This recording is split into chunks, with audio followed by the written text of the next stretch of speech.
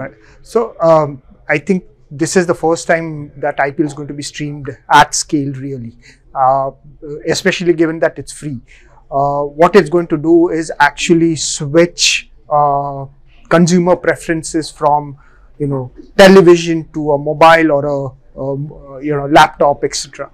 Uh, what that's going to do is it's going to give an immense opportunity to advertisers uh, to personalize their uh, their communication uh, at different points of time through the match uh, to different consumers basis their behavior on digital and and I think it's it's going to uh, you know make a paradigm shift uh, from an advertiser's perspective for IPL.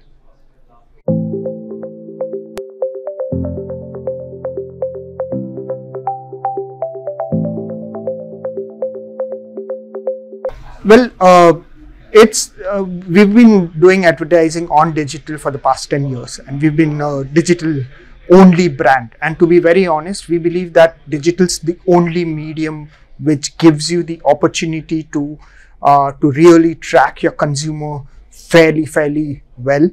And uh, when you look at it from a cpa perspective it's probably the only medium which gives you real meaningful understanding of what's working and what's not working